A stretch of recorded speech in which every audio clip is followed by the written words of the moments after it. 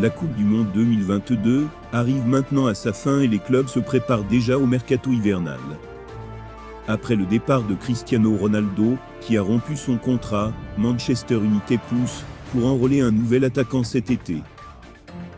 Les Redeville avaient déjà pensé à Gonçalo Ramos, le buteur de la sélection portugaise, pour le remplacer.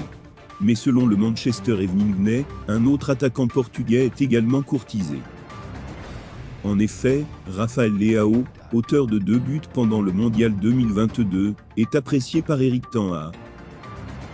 Sous contrat jusqu'en 2024, le Portugais avait avoué avoir eu une réunion avec Paolo Maldini, c'était positif, donc quand j'arriverai à Milan, nous parlerons bien, concernant son avenir. Le Milan n'exclut pas une vente, mais valorise l'ex-Fillois à hauteur de 100 millions d'euros.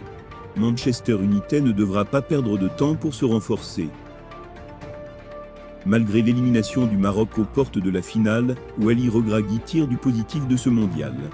Le rêve du Maroc s'arrête là. Trop brouillonne devant, pour faire la différence, et surpris dès la cinquième minute par Théo Hernandez, la sélection n'a pas réussi à imiter ses exploits réalisés face à l'Espagne et au Portugal.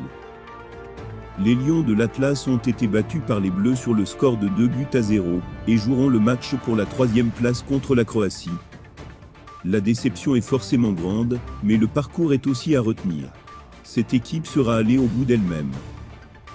On a donné le maximum, c'est le principal. On a perdu à guerre à l'échauffement, 16 dès le début du match chez Mazraoui à la mi-temps, mais je n'ai rien à dire. On est allé au bout du bout du bout. On a donné le maximum. Contre la France, la moindre erreur se paye cash. Mais on ne peut pas passer en finale, avec un tel déchet technique. C'était mieux en seconde période, on a eu des occasions, mais on ne marque pas, et le deuxième but nous tue. Mais ça n'enlève pas tout ce qu'on fait avant assure Wally Regragui sur Sport.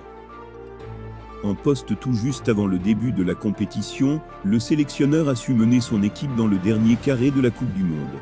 Une première pour une sélection africaine, et un exploit déjà majeur. Le Maroc n'a pas à rougir de son parcours, et peut même prendre date pour la suite, le prochain mondial aux États-Unis, au Canada et au Mexique, et la Coupe d'Afrique des Nations en janvier 2024. Elle sera également plus attendue par ses adversaires. Mais l'aventure ne fait que débuter pour Regragui. Cette petite finale sera dure mentalement. On va surtout donner du temps de jeu à ceux qui n'ont pas joué. Tout le monde doit participer. On a envie de finir troisième. Le plus important était de montrer un bon visage, des beaux supporters. Il va falloir travailler pour atteindre le haut niveau et gagner la Coupe du Monde, mais on n'est pas loin. Il faudra compter avec le Maroc dans les prochaines années.